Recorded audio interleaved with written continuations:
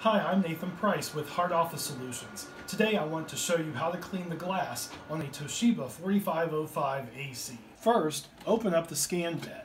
You will notice that there are two areas of glass that you'll want to clean with a lint-free cloth. The first one is known as the slit glass.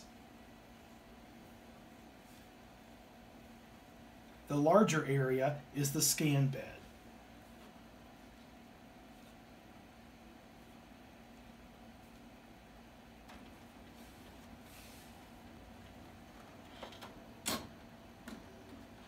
For optimal performance, it is recommended that you clean your scan bed at least once a week or as needed. If you have questions or comments about your Toshiba copier, please feel free to leave them in the space provided below.